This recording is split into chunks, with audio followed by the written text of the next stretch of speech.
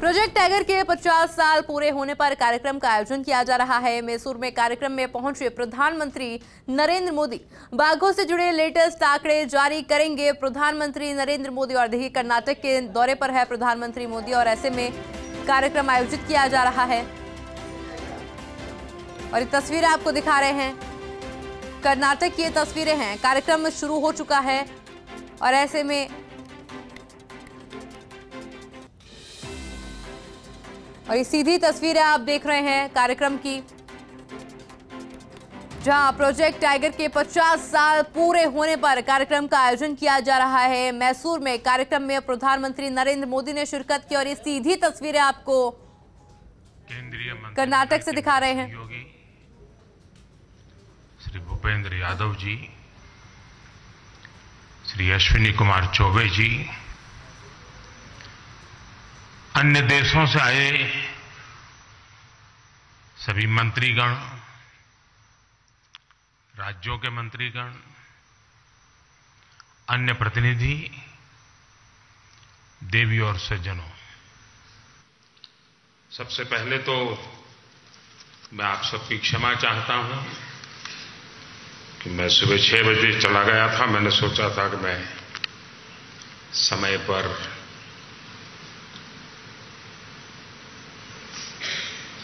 जंगलों का भ्रमण करके वापस आऊँगा।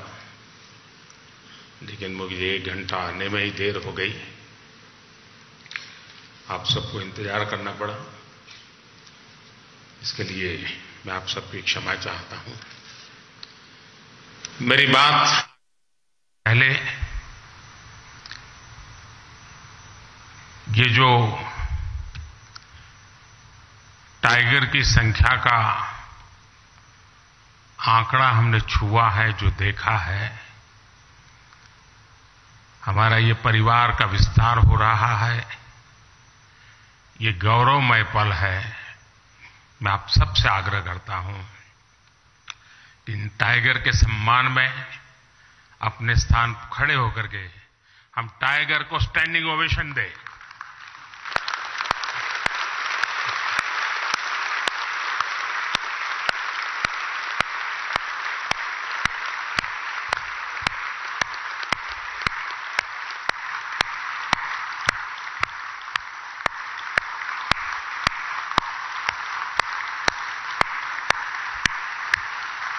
थैंक यू थैंक यू भैया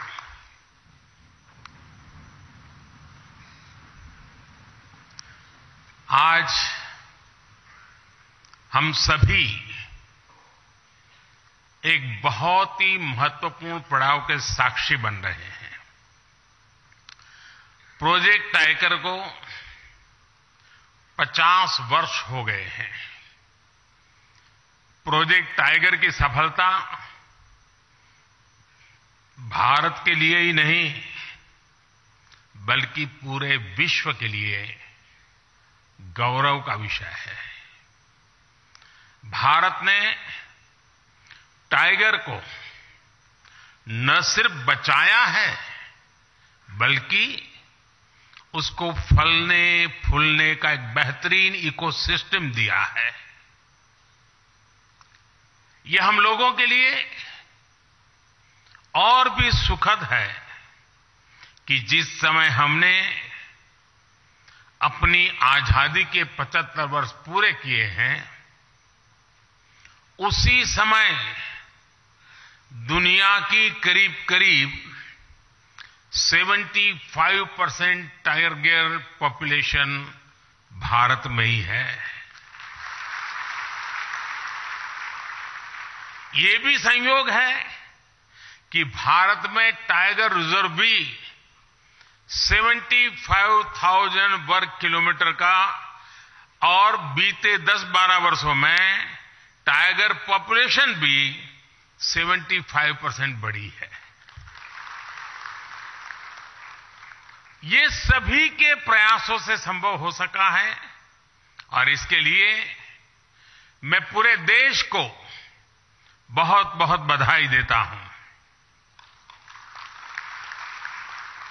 साथियों, आज विश्व भर के वन्य जीव प्रेमियों के मन में ये सवाल है, जब अनेक टाइगर रेंज देशों में उनकी आबादी स्थिर है या आबादी घट रही है तो फिर भारत में तेज़ी से बढ़ क्यों रही है? इसका उत्तर है भारत की परंपरा, भारत की संस्कृति और भारत के समाज में बायोडायवर्सिटी को लेकर, पर्यावरण को लेकर, जो हमारा स्वाभाविक आग्रह है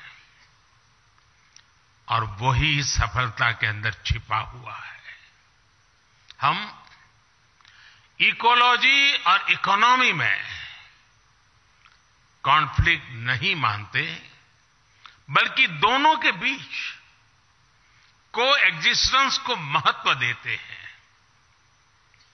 हमारे यहाँ टाइगर से जुड़ा हज़ारों वर्ष पुराना इतिहास है। मध्य प्रदेश में पाई गई दस हज़ार साल पुरानी रॉक आर्ट्स में टाइगर के चित्र पाए गए हैं। सेंट्रल इंडिया में रहने वाले भारिया और महाराष्ट्र में रहने वाले वर्ली जैसे देश के अनेक समुदाय टाइगर को पूजते हैं वर्शिपर हमारे यहाँ अनेक जनजातियों में टाइगर को अपना बंधु माना जाता है, भाई माना जाता है। और टाइगर, माँ दुर्गा और भगवान अयप्पा का वाहन तो है ही friends India is a country where protecting nature is a part of culture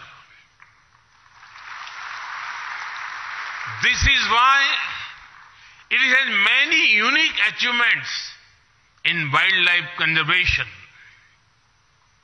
With only 2.4% of the world's land area, India contributes about 8% of the known global diversity.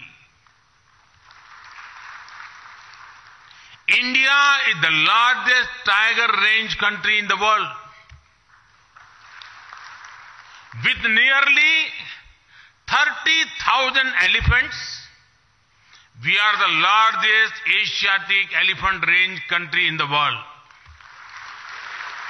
Our rhino population of nearly 3,000 makes us the largest single-horned rhino country in the world. We are the only country in the world to have Asiatic lions. The lion population has increased from around 525 in 2015 to around 675 in 2020. Our leopard population went up by over 60% in just four years. The work being done to clean up rivers, such the Ganga has helped biodiversity, some aquatic species that were considered to be in danger have shown improvement. These achievements are all due to people's participation and culture of conservation. Sabka Prayas. For wildlife to thrive it is important for ecosystem to thrive. This has been happening in India. While celebrating 75th year of independence, India added 11 wetlands to its list of Ramsar sites. This took the total number of Ramsar sites to 75. Forest and tree cover are also increasing. India added over 2,200 square kilometers of forest and tree cover by 2021 when compared to 2019. In the last decade, the number of community reserves increased from 43 to over 100. In a decade, the number of national parks and sanctuaries around which eco-sensitive zones were notified increased from 9 to 468. साथियों wild life conservation के इन सभी प्रयासों